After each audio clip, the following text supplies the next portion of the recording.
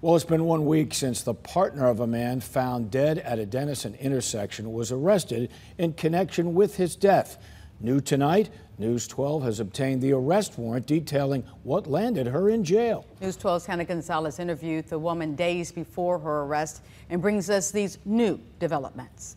Late Easter Sunday night, Denison police found 26 year old Brian Olivo dead in the roadway at the intersection of FM 1417 and 691. The next day, I interviewed Olivo's girlfriend, Claudia Ramirez, who told us he'd left their home to go on a walk. I heard somebody yell, so I went outside, and when I went outside, I seen a car parked in the middle of the road and I seen something on the floor. And claimed her boyfriend was involved in a hit and run and pleaded for someone to come forward. Just to take responsibility for what they did.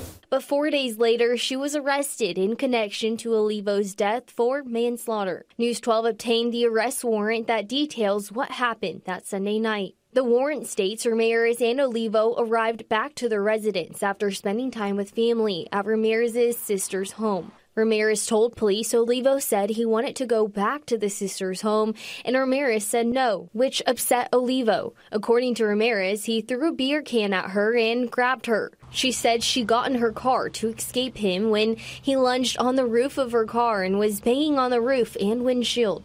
Ramirez proceeded to leave the residence and drive to this intersection where she continued to hit the brakes to shake Olivo off the vehicle. He eventually hit the pavement and died at the scene from blunt force trauma to the head. Police interviewed a neighbor whose fence overlooked the crime scene. She said she saw a woman get out of the vehicle and started screaming at the man on the ground.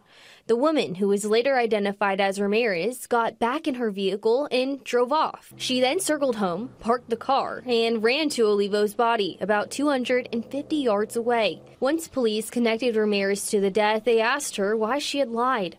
She said she was afraid of getting in trouble and that she had been assaulted by Olivo before in Seguin. But according to Seguin police, Claudia was the only person arrested for assault last year. Olivo was a victim. She's now being held in the Grayson County Jail on a half million dollar bond. In Denison, Hannah Gonzalez, News 12.